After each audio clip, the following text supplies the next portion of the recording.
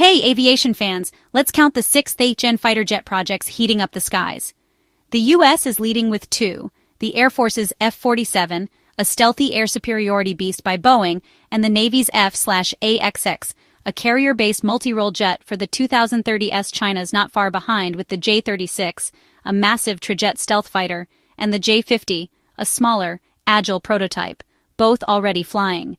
Europe's in the game too the UK, Japan, and Italy are teaming up on the Global Combat Air Program, or GCAP, aiming for a 2035 debut. Meanwhile, France, Germany, and Spain are building the Future Combat Air System, or FCAS, with a next-gen fighter set for 2040. That's six major projects pushing AI, stealth, and drones to new heights. Russia's MiG-41 is rumored, but it's less clear. Which project will dominate? Tell us in the comments.